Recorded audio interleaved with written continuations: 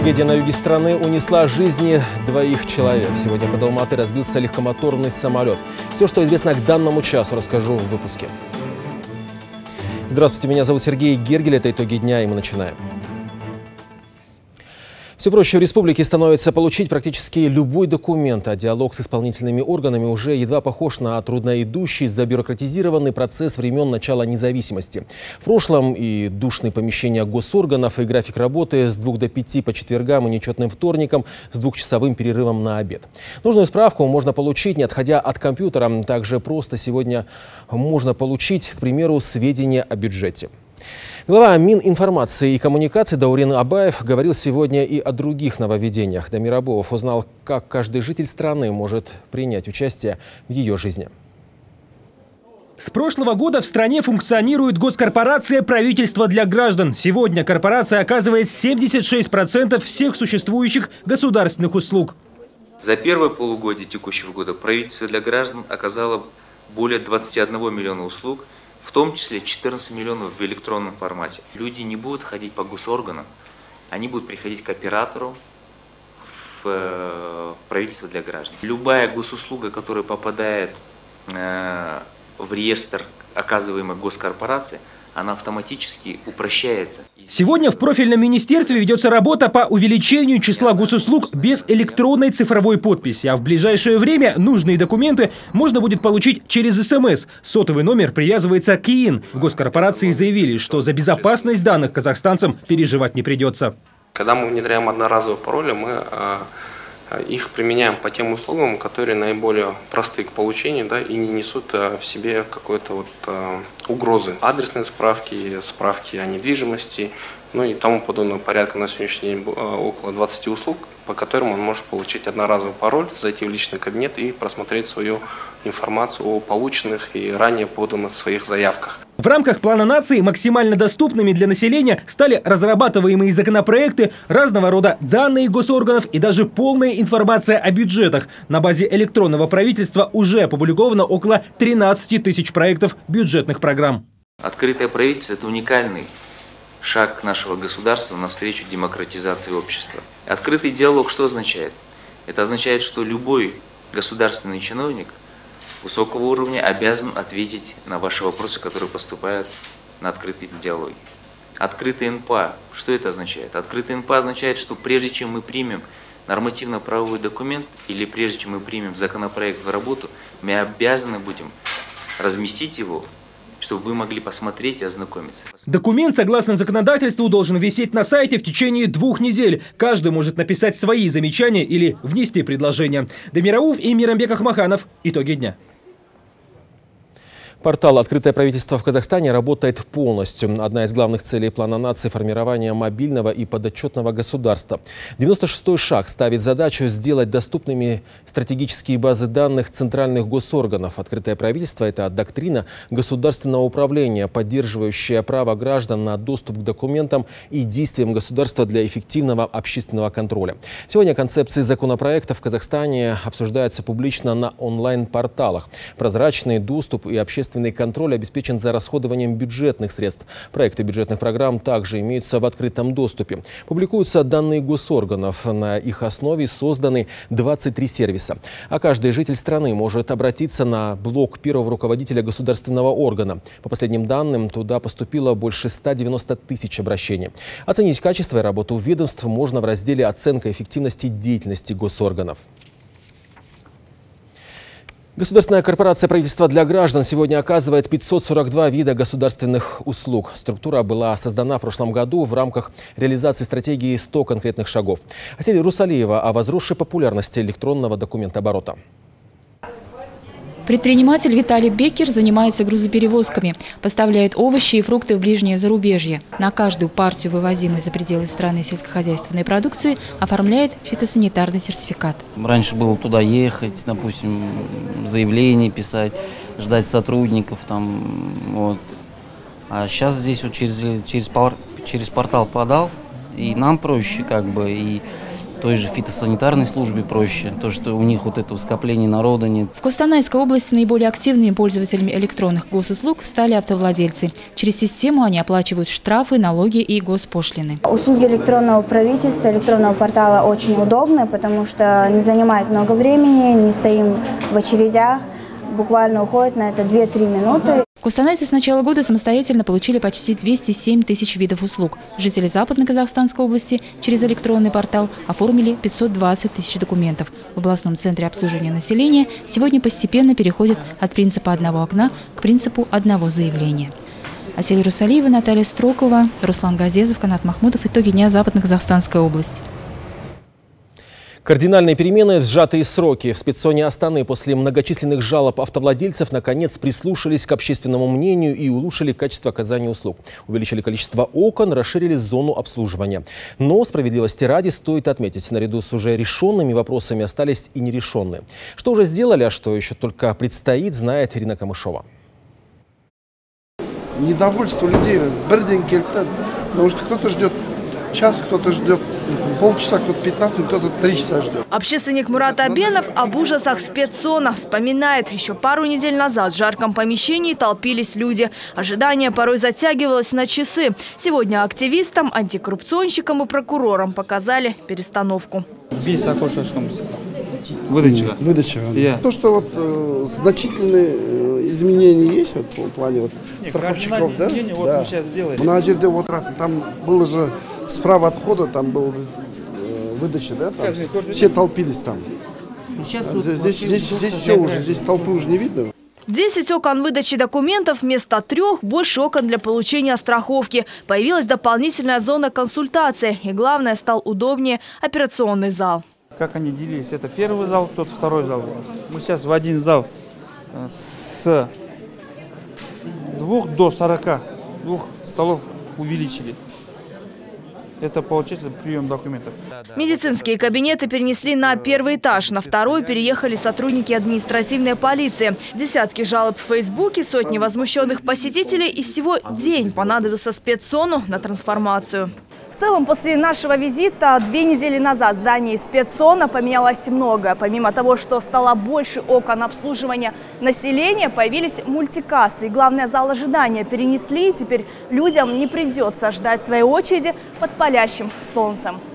Но пока остается нерешенным вопрос интеграции базы данных спецсона и налоговой. Хотя в Департаменте госдоходов говорят, что база это давно работает. Но сама программа оказалась непонятна операторам спецсона. Вопрос обещают решить. У них есть возможность просмотра э, информации о наличии налоговой задолженности по налогу на транспортные средства не только по городу Астана, но и по всей республике. О его начислениях, о его уплатах, возвратах, перебросках.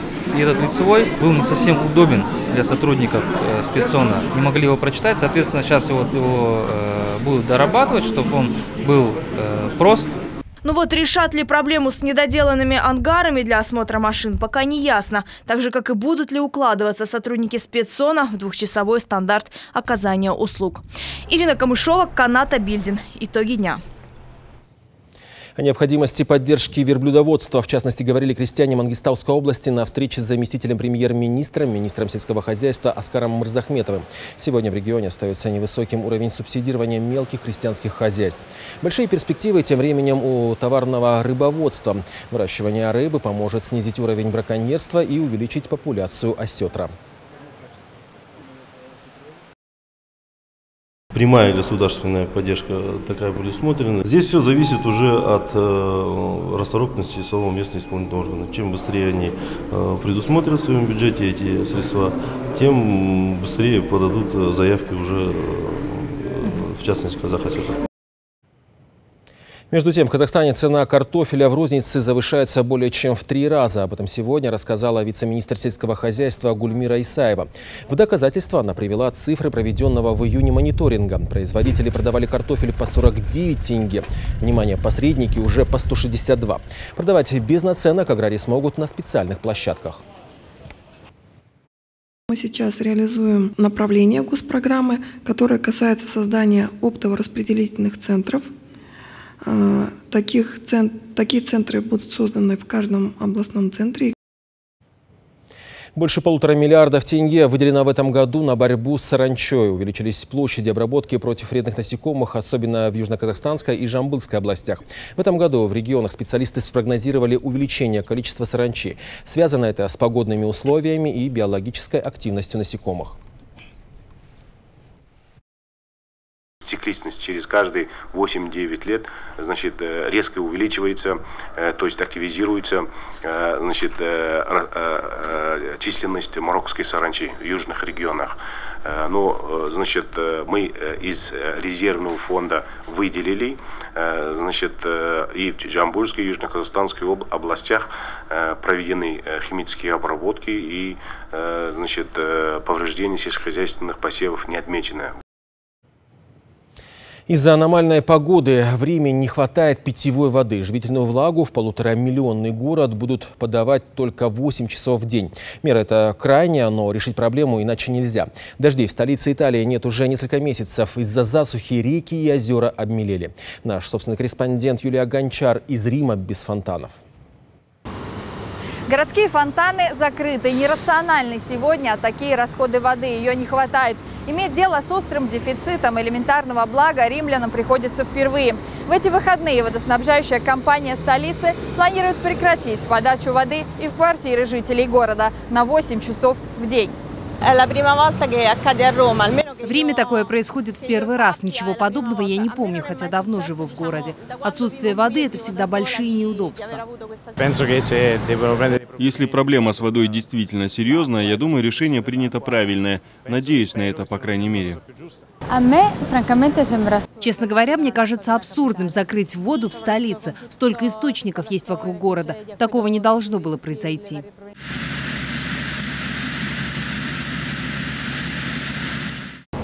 Коммунальщики разводят руками. Решение ограничить водоснабжение столицы вынужденное. Президент столичного региона Лацио запретил забор в озере Брачана. Уровень воды в этом стратегическом водоеме из-за засухи и отсутствия дождей опустился до рекордной отметки – минус 160 сантиметров. И дальнейшее его использование, по словам экологов, может привести к катастрофе. Мэр Рима Вирджиния Раджи, посадив за стол переговоров руководителей водоснабжающей компании, пытается найти иное решение сложившейся ситуации. Предлагаю ее послушать. Я абсолютно готова потратить столько времени, сколько потребуют переговоры, чтобы гарантировать Риму водоснабжение. Жителям города, но особенно больницам, домам престарелых, службам пожарной охраны. Альтернативное решение позволит пережить городу ближайшие 10 дней, говорит мэр. С началом августа времени отпусков большинство римлян покидают столицу. Потребность в питьевой воде сократится. Водоснабжение полуторамиллионного населения Рима зависит сейчас от результата этих переговоров. В 20 небольших коммунах римской провинции подача воды в квартиры их жителей уже ограничена. Юлия Гончар, Массимилиану Вольпе, Хабар, Италия. Казахстанские студенты в Египте были задержаны органами национальной безопасности. Об этом заявил руководитель пресс-службы МИДа Ануар Жайнаков. По данным египетской стороны, казахстанские студенты здоровы и содержатся в безопасных условиях. Более подробной информации нет. Ее египетские власти обещают предоставить в ближайшее время. О пропаже шестерых казахстанцев в Египте стало известно 24 июля. Ну и возвращаясь к теме, которую озвучил в начале выпуска, стали известны имена погибших при крушении самолета Як-12 в Алматинской области. На его борту находились два человека – пилот Хамид Акбергенов и глава крестьянского хозяйства Масимжан Масимов. Оба скончались на месте в результате падения самолета. Пилот пытался увести самолет от населенного пункта. Машина упала на пустующее зернохранилище. Воздушный транспорт принадлежал компании «Казавия». Глава компании Игорь Сухоруков пообещал оказать материальную помощь семьям погибших. Известно, что борт производил обработку химикатами частных кукурузных полей, а также то, что оценка летной годности самолета была действительно до ноября этого года. Последнюю полную сертификацию техника прошла в 2016 году. Тем не менее, после случившегося Комитет гражданской авиации «Мир РК» приостановил эксплуатацию самолетов Як-12 в Казахстане до завершения расследования. Причины происшествия выясняются. На сегодняшний день министерством создана комиссия по расследованию данного происшествия. Совместно с э, отработанные действия с ДВД на транспорте и с прокуратурой. А, комиссия уже сейчас э, выехала на место. По э, результатам работы комиссии будет сообщена информация о дальнейшем мерах, которые будут приниматься и сегодня стали известны подробности инцидента в аэропорту Стамбула 26 июля. Тогда там столкнулись два самолета, один из них казахстанский. ЧП произошло во время выруливания на взлетно-посадочную полосу. Самолет авиакомпании «СКАТ» задел правым крылом воздушное судно компании Turkish Airlines. Оба борта получили незначительные повреждения, пострадавших нет. Причина произошедшего не сообщается. Сейчас пассажиры «СКАТ» доставлены в Актау, а пассажиры турецкого авиалайнера вылетели в Тайбэй на другом самолете. В авиакомпании Компания «СКАТ» опровергли сообщение о серьезном столкновении самолета в Стамбуле. По словам представителя компании, самолет с казахстанцами на борту лишь едва задел крылом хвост другого лайнера. Обстоятельства и причины гибели четырех человек на канализационно-насосной станции в Кызылорде будет расследовать комиссия Министерства труда и соцзащиты населения страны. Накануне во время ремонтных работ на станции произошел выброс газа. В результате погибли три сотрудника коммунального предприятия. Еще двое доставлены в реанимацию. Сегодня утром в больнице скончался еще один пострадавший. В момент ЧП на объекте находились семь человек. По версии следствия, трагедия произошла из-за нарушения правил техники безопасности. Мы выражаем соболезнования родным и близким погибших. Со стороны Акимата города Козларды их семьям будет оказана материальная помощь в размере 1 миллиона тенге. Работники, обслуживающие очистные сооружения, такие как эта канализационная насосная станция, должны быть в специальных респираторах. Этого, к сожалению, нет. Налицо грубые нарушения технической безопасности. И еще события в стране коротко в нашем обзоре. Количество преступлений в Алматинской области снизилось на 14%. Не последнюю роль сыграла подотчетность полицейских местной власти. Это нововведение, внедренное пару лет назад, входит в план нации 100 конкретных шагов. На полигоне под Семеем проходят сборы артиллерийских подразделений регионального командования «Восток». Командиры бригад отрабатывают навыки огневого поражения целей. В сборах принимают участие около 600 единиц военной техники. На самых крупных рынках Алматы медицинские бригады проводят обследование желающих. К услугам граждан различные специалисты. В день удается проверить до 300 человек. Впервые государственные субсидии станут доступны небольшим пасечным хозяйствам при Орале. Ранее на такую поддержку могли рассчитывать лишь пчеловоды, имеющие не менее 100 пчелиных ульев. Сейчас достаточно всего 10. Получить помощь пчеловоды смогут после регистрации бизнеса и подтверждения ведения селекционных работ. В Акмолинской области инвестор получил больницу в управление на 30 лет без права выкупа. Взамен он обязуется вложить в ремонт и модернизацию медучреждения больше 2 миллиардов тенге. Большая часть средств идет на закуп нового оборудования. Один из проектов карты индустриализации до конца года откроют на востоке страны. На проектную мощность уже выходят заводы второй пятилетки программы индустриально-инновационного развития. Некоторые предприятия аналогов в Казахстане не имеют. В Усть-Каменогорске налажен промышленный выпуск стройматериалов особого типа из пластика и опилок. Вячеслав Ветлогин подробнее. Из простых древесных опилок, их цена порядка 10 тенге за килограмм, в Восточном Казахстане развернули уникальное производство. Для этого их просто смешали вот с такой полимерной пластиковой крошкой, а на выходе получили современный стройматериал. С виду все просто, на деле сложный химический процесс. Этот проект карты индустриализации обошелся частным предпринимателям в 200 миллионов тенге. Такова полная себестоимость производства древесно-полимерных стеновых панелей, сайдинга и брусьев. За полтора года новинки стройиндустрии покорили казахстанский рынок. 50 тонн продукции пошло на возведение объектов Экспо. Движущей силой в развитии производства стало наше участие в Экспо, что позволило увеличить количество заказов в результате чего э, увеличилось количество рабочих мест. 60 человек здесь работают в несколько смен. Экструдеры и конвейеры не останавливаются ни на минуту. Новые партии бруса расходятся как горячие пирожки. Сейчас их изготавливают для экспорта в Иран и Афганистан, где только начинается строительный сезон. Если в 2015 году если произвели 100 тонн продукции, то в 2016 уже свыше 200 тонн. В этом году планируем выйти на проектную мощность уже свыше 300 тонн. За счет первой пятилетки карты индустриализации в регионе создали 18 тысяч тысяч рабочих мест. В этом году еще 3 тысячи человек лишатся статуса безработных. По актуальность проектов, э, введенных в эксплуатацию первой пятилетки карты индустриализации, ими произведено продукции на, на более 154 миллиардов тенге.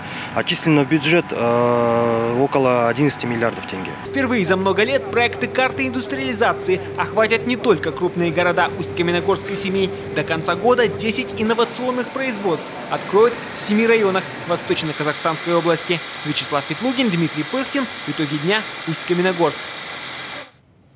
Со дня открытия Экспо-2017 в Астану прибыли больше 1 миллиона 900 тысяч человек. Львиная доля – миллион 200 тысяч – это туристы. Большинство гостей, 846 тысяч человек, в столицу приехали на автомобилях. Поездами добрались 680 тысяч. Самолетом воспользовались больше 330 тысяч человек. При этом загруженность аэропорта составляет 70%. ЖД-вокзал загружен на 60%. Ежедневно на поездах прибывают 16 тысяч человек при максимальной максимальной возможности в 27 тысяч. Благодаря Экспо вырос и спрос на услуги туроператоров почти на 80% по сравнению с прошлым годом. Маленькая страна с безграничными планами на будущее и богатой национальной культурой. Иордания сегодня представила на Экспо свои достижения в сфере зеленых технологий, а также порадовала народным творчеством. Татьяна Ковалева о путешествии в Хашемитское королевство.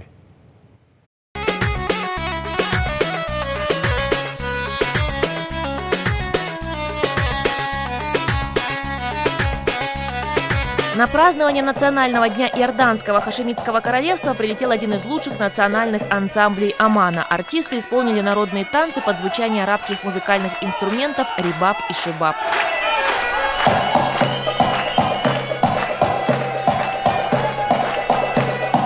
В Иордании, где 330 дней в году светит яркое солнце, всерьез намерены развивать альтернативную энергетику. В стране приняты документы, регламентирующие развитие так называемого собственного зеленого коридора. Программа призвана сократить зависимость страны от нефти и газа, а произойти это должно за счет увеличения числа электростанций, работающих от ветра и солнца. За последние шесть лет цены на фотоэлектрические элементы солнечных батарей упали в нашей стране на 60-70%. Стоимость ветряных турбин также снижается. С изменением государственной политики новое направление получит больше возможностей для развития. К 2020 году мы планируем увеличить использование альтернативной энергии с 15 до 25%. Помимо зеленых технологий, в павильоне Иорданского хашемитского королевства представлена экологически чистая продукция страны. Например, дары Мертвого моря и знаменитое оливковое масло. А из разноцветного песка народные умельцы делают вот такие прекрасные сувениры – картины с пейзажами Иордании. В нашей стране это называется искусство владения песком. Им занимался мой отец, теперь и я. В этот окрашенный песок мы добавляем специальный клей. В итоге пейзажи в бутылках застывают и могут храниться веками веками.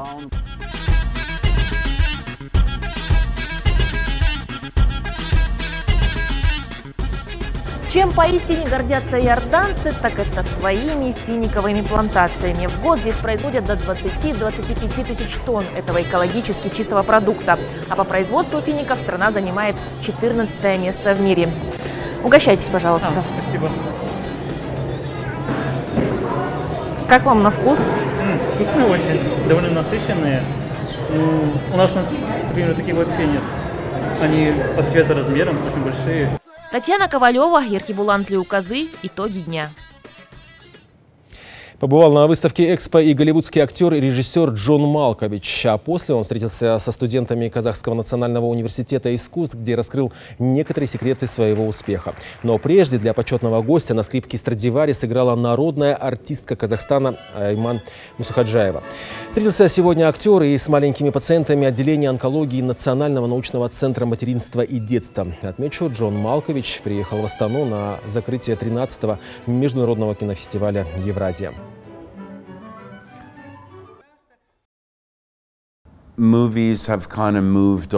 Сейчас, когда речь заходит о кино, то мы уже не представляем только голливудские и европейские фильмы. По всему миру кинофестивалей проходит предостаточно. В странах Азии снято множество прекрасных фильмов. Кино является мировым языком. Снято ли оно в Корее, Казахстане или Америке, сюжет будет понятен всем. Границы киноиндустрии расширились. Мне выпала возможность встретиться с казахстанскими актерами и кинематографистами. Мне захотелось узнать об их работе и жизни жизни. Я встретился с режиссером таких картин, как «Алмаз Халыш», «Подарок Сталину», исторический кинофильм. Мне понравился.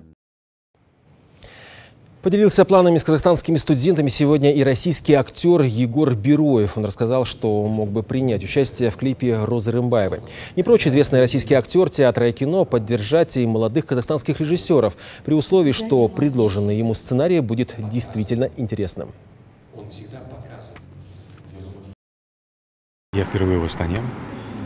А, я потрясающая встреча была с ребятами, замечательные вопросы, очень а, прям в точку, в десятку все вопросы. Я очень рад, очень рад, что такие люди, интересующиеся, пытливые, образованные, а, чуткие, гостеприимная публика, в том числе и на такой суровой Адайской земле, в степях Мангостау, я всегда чувствовал тепло и какой-то дружественный такой вот очень заботу. Не менее торжественно и эмоционально прошел фестиваль детского кино «Пять континентов в Астане» в рамках кинофестиваля «Евразия». Уникальность мероприятия в роли членов строгого жюри были дети. Собственно, оценивали картины именно те, на кого и рассчитаны произведения. Гульнара Жандоголова прошлась по ковровой дорожке вместе с маленькими знаменитостями. Красная ковровая дорожка, леди в нарядных платьях, джентльмены в костюмах. Их встречает восторженная публика. Все по-взрослому. Вот только главные действующие лица на фестивале «Пять континентов» – дети. Фестиваль прошел при поддержке кинофестиваля «Евразия» и фонда первого президента. Когда они мне озвучили те фильмы, которые призеры, они выбрали очень серьезные фильмы. У нас жюри самый младший 9 лет, самому старшему 15 лет. Течение пяти дней дети смотрели кино про себя, снятое взрослыми. В конкурсную программу вошли пять таких лент. В номинации «Лучший фильм» одержала победу картина из Чехии «Ангелы 2». Это сказка о рождественских приключениях закадычных друзей Ангела Петронелла и черта Уреша от популярного режиссера Иржи Страха. Отечественному мультфильму «Казак Еля» жюри отдало приз за лучший сценарий. Больше всего членов отборочной комиссии тронул фильм из Новой Зеландии «Красота», который забрал номинацию «Лучшая детская роль». Фильм повествует о 14-летней Рэйчел. Девочка вместе с одноклассниками находит самую настоящую радугу. Фильмы были очень замечательными, и мы каким-то образом все вместе, э, споря два часа, выбрали э, э лучшие из лучших. Фестиваль детского кино «Пять континентов» – это первая попытка увидеть мир кино глазами детей. Попытку можно считать удавшейся. Ученые в Чили обнаружили цветы, которые смогут защитить растения от солнечной радиации. Этот сорт цветов произрастает исключительно в Антарктике.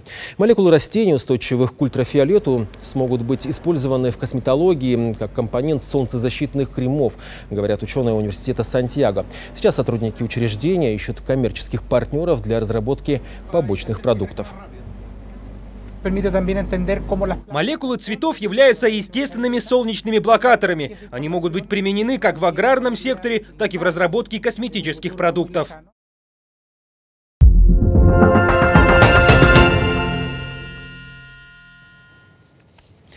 Международный фестиваль «Хан Корык» в Баянаоле собрал больше 200 участников. Среди них студенты высших учебных заведений Кыргызстана, Монголии и России. Иностранные студенты приняли участие в археологических раскопках и познакомились с историей края. Заинтересовали молодежь и доспехи воинов. Например, шлем Батыра 15 века весил около трех килограммов. Презентовали отечественные археологи и новые уникальные находки. Памятник этот относится к первому тысячелетию до нашей эры, и он представляет из себя цепочку руинированных э, надгробных сооружений и древних святилищ. Вот э, у этой сопки, у ее подножия, и они тянутся к подножию вот этих гор. Это Андроновский могильник, три с половиной тысячи лет до нашей эры. Вот мы копаем кости, керамику находим. Очень интересно на самом деле. Вот здесь даже бронзовая э, бусина. Мы уже собрали почти ожерелье. Основные аспекты программной статьи президента Казахстана «Взгляд в будущее модернизации общественного сознания» обсуждают в Атырауской области. Сюда прибыли видные деятели культуры, члены Союза писателей Жумабай Шаштай Улы и Рафаэль Ниязбеков. Программа работы группы весьма обширна. Это встречи с населением и посещение исторических мест и памятников культуры. Особое внимание к жителям районов. Именно с глубинки должно идти возрождение исконных культурных ценностей, присущих нашему народу.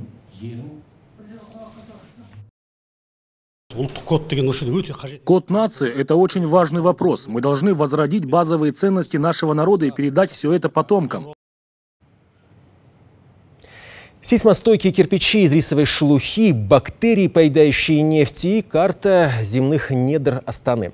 Эти другие разработки казахстанских ученых применяются на отечественных и зарубежных предприятиях и претендуют на государственную премию в области науки и техники имени Аль-Фараби, рассказывает Полина Чехична. Перед вами новая модель подъемника на основе механизмов высоких классов. Таких проектов, действительно полезных, но не реализованных, в Казахстане много. Однако претендовать на премию в области науки и техники могут только идеи, которые уже внедрены. Например, карта зонирования Астаны, на которой наглядно показано, где можно бурить землю, а где рискованно, например, из-за грунтовых вод. Они дают рекомендации, например, в какой точке Астане, вот если вы, например, собираетесь строить дом, э, в данном месте какой, какой состав почвы, какие э, виды сваи надо забивать, какую имеют они э, ну, запас прочности.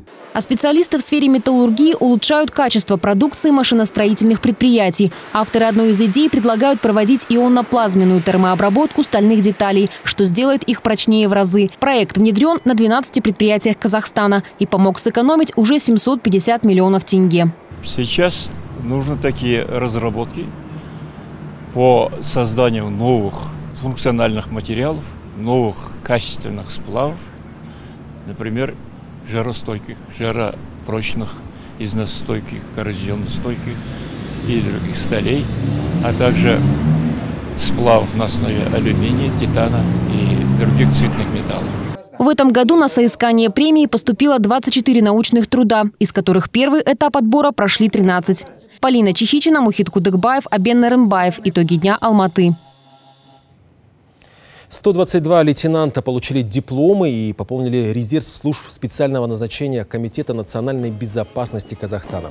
Нынешний выпуск совпал с юбилейной датой – 25-летием образования в Казахстане органов национальной безопасности. Также глава КНБ отметил заслугу профессорско-преподавательского состава Академии, ставшей кузницей кадров отечественных спецслужб. Наш президент неоднократно отмечал – что офицерский корпус должен быть элитой и опорой государства, примером для подражания. Убежден, что каждый из вас осознает важность возложенных на органы КНБ задач и внесет достойный вклад в дело обеспечения безопасности и процветания Республики Казахстан. Знания и профессиональные навыки у вас есть. Вы должны правильно и умело применять их на практике. Очередной сюрприз для ценителей оперного искусства. Ведущие солисты театра «Астана-опера» представили яркий, незабываемый концерт «Любовь, каприз и волшебство» из цикла «В кругу друзей».